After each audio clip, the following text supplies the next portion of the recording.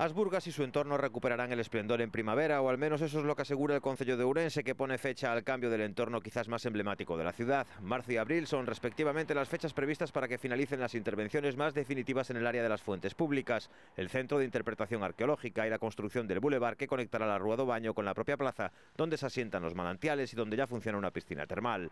pero quizás sea la urbanización de las huertas de las traseras de Asburgas la que suponga el cambio más radical para el entorno. Esta intervención, financiada por el Ministerio de Cultura con 600.000 euros y cuya finalización está prevista para abril, consistirá en el ajardinamiento de 6.000 metros cuadrados, en los que se configurará el bulevar entre la Rúa do Baño y la Burga, Además de un pequeño bosque con castaños, el proyecto recoge los hallazgos encontrados en esta superficie, tres pozos contemporáneos, una tumba medieval, muros romanos y una casa, mientras que los espacios se ordenarán en torno a tres nuevas plazas, en las traseras de Cervantes, Vilar y una plaza interior.